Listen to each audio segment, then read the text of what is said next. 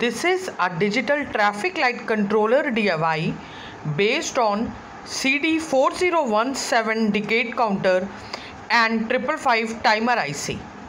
For more detailed videos, please visit our channel.